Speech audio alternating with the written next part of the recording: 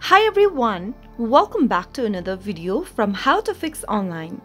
In this video, we are going to be learning how to fix Bank of Scotland app crashing on your Android device.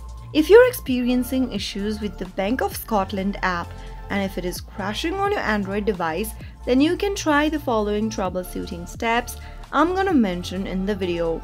So make sure you watch until the very end in order to resolve your problem. Whenever you are experiencing issues with the crashing, the first thing you'll need to look for is your device compatibility. Make sure that your Android device meets the minimum system requirement for running the Bank of Scotland app. Another thing you'll need to consider is checking for system update. Simply go ahead and launch Open Your Settings app from your app drawer. From the settings menu, scroll down and tap on software update. Tap on download and install from the software update page and check for available software update for your Android's operating system. Make sure that your Android's device's operating system is up to date and doing this will fix bugs and improve your performance of your device.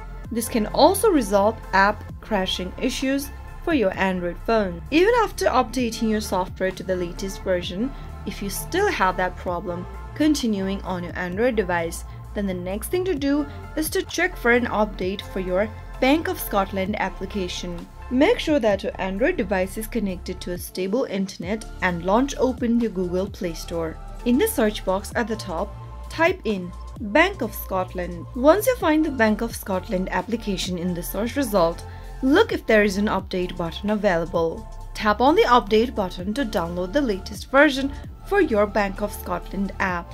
After updates are installed, you might be able to solve your crashing issue for the Bank of Scotland application. If the problem still continues, you should try uninstalling and reinstalling the application. Go ahead and look for the Bank of Scotland app in the app drawer and press hold the app icon for a few seconds. Now click on uninstall and tap OK in the pop-up. Wait for a couple of minutes after it is done and go back to your Play Store and search for the Bank of Scotland application once again. Now tap on install to reinstall the app on your device and this time you might be able to resolve persistent app crashing problem.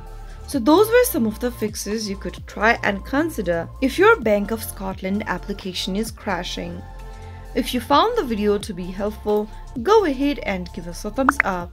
Don't forget to subscribe to our channel by hitting the subscribe button. Press on the notification bell so that you'll never miss another upcoming upload from us. I will be back again in the next video. Thank you for watching.